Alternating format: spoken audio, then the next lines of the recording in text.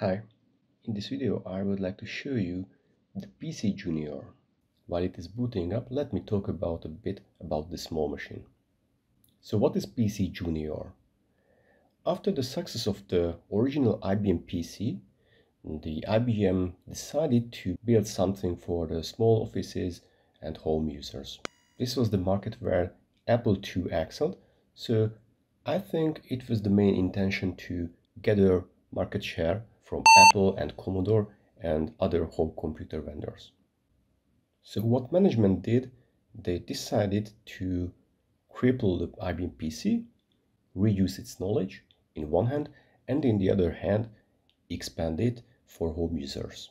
So the engineers had a difficult task to do both of them at the same time and keep the cost in a reduced level. As the result, they built a computer which is smaller than the original IBM PC, but bigger than most of the home computers. Let's say it is somewhere in between. So the base system had 64 kilobyte. It was driven by the same CPU as the IBM PC, so 8088, running on 4.77 MHz. The base model had no floppy drive, so it could use either a cassette tape or cards to start the programs. This version simply failed on the market, so most of the machines were expanded the memory was expanded to 128 kilobytes, had also a floppy drive, and most of the time additional monitor. The users could hook the system to a TV, but it was much better to hook up to your CGA monitor. Let me run few benchmarks to show you the speed, or is it better to say the slowness of the system to you. Both version of the landmark speed test shows very slow computer so it is slower than the original PC or the later XT. The reason behind it has no DMA, so when I'm pushing the keyboard buttons, you can see how the system is really slowing down. By the way, the keyboard, it worth few more words. I do not have the original chiclet keyboard. This is the second version, so the keys a bit better, but still it is not up to the IBM standards. The fun part, it is using infrared to transmit the data. So I can say I have a wireless keyboard from 84. That's just great, right? In the reality, not because it is, uh, well, how can I say? So it's hard to use. Okay, it's better than the ZX Spectrum, but a C64 has a much better keyboard as well as an Apple II is, is really much better. To reach the function keys, I have to push multiple keys at the same time also it is it is really sensitive to pushing multiple buttons at the same time. So it is not the best keyboard it's just okay-ish. But the PC Junior has a bigger issue which is compatibility. It is easy to demonstrate how IBM built a PC which is not compatible with the PC so this is PC Junior but not compatible with the original PC Sysinfo from Norton Utilities is not the only one which is crashing when I try to test something. After this nice panic message, let's jump into the self-test of PC Junior. You can reach it pressing Alt, Ctrl and Insert at the same time and let's run few tests. While the screen test is running, let me talk about the two advantages of PC Junior. So the first one is the new graphics adapter. It is an evolution of the old CGA, so it is using the same RGBI interface. CGA was able to display four colors on 320 by 200. PC Junior can use the full palette, so 16 colors on the same resolution. If you remember CGA games and the ugly colors, then yeah, it is really a big advantage.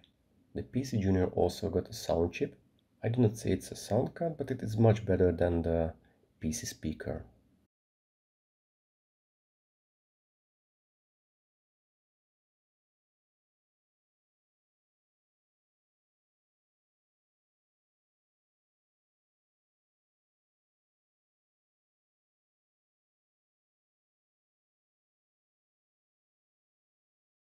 After the display, let's test the sound generator chip as well.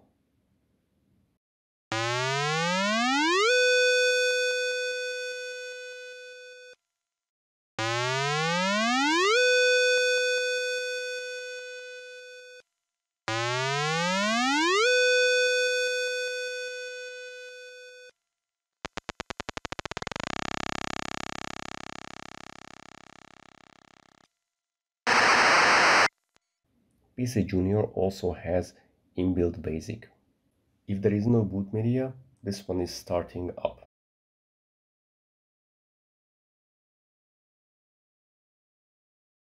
I think most of us started with something like that in the 80s when we received the first computer. So let me type it in and then start it.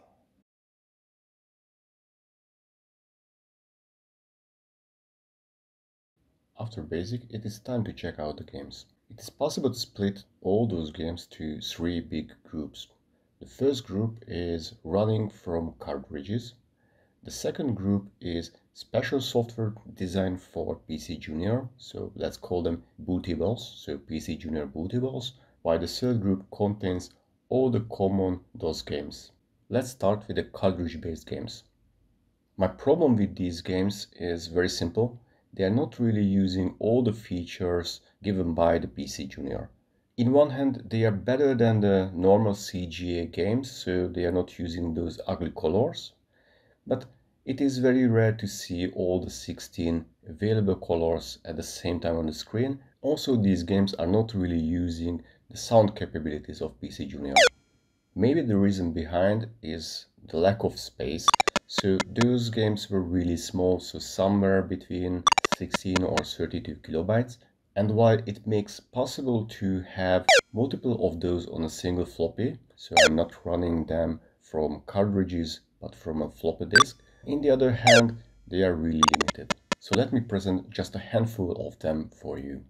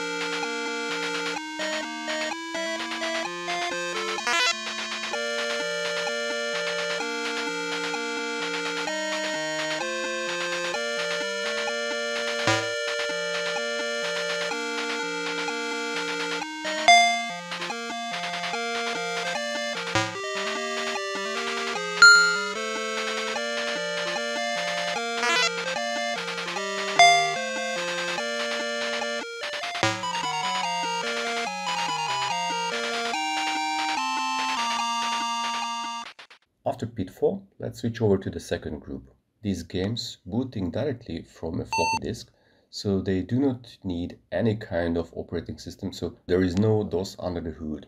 They are interesting because most of them had a DOS version, but since there is more space on a floppy disk than on a cartridge, they are much more advanced.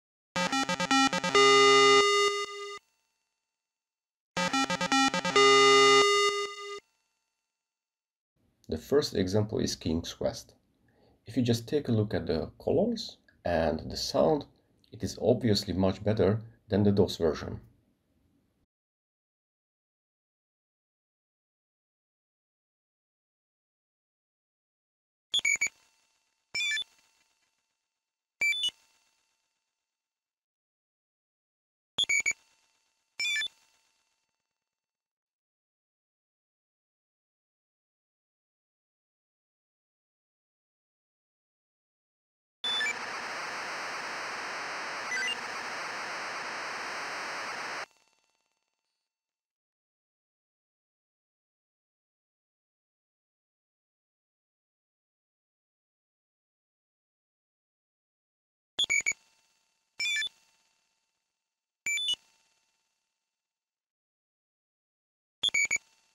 After fiddling around, I would like to present my favorite PC bootable.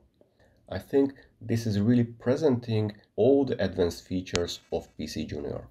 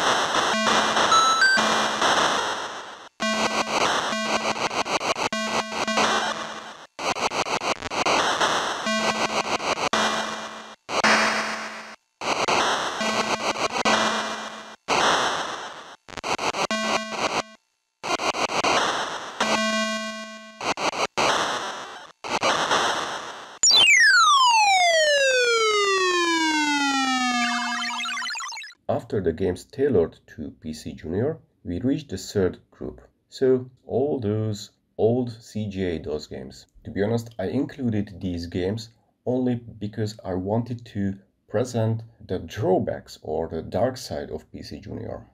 What do I mean that? Well, I may say these games are not running on PC Junior, but they are, let's say, crawling.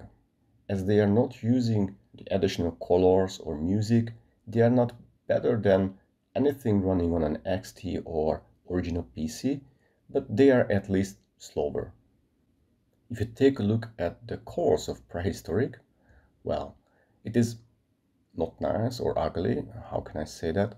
And also it takes ages to load the game, so, well, but at least this one is running pretty fair, so it is playable.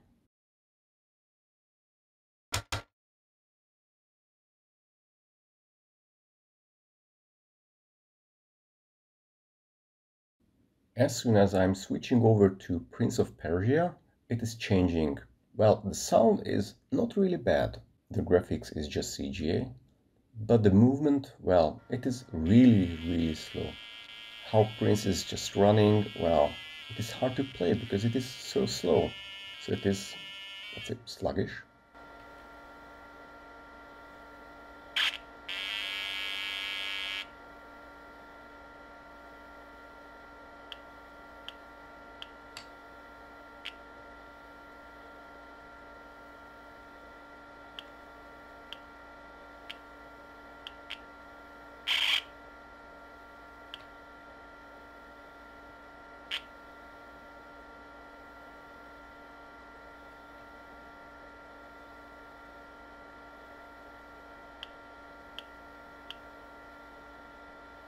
But if I switch over to the last game, so Indiana Jones 3, I'm just showing you the intro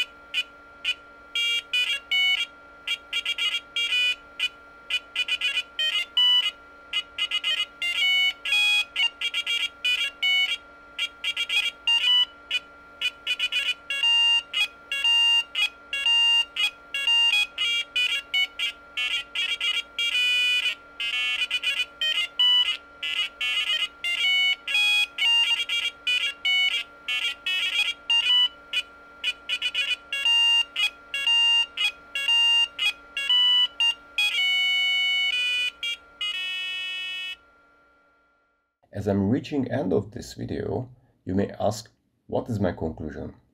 It is twofold.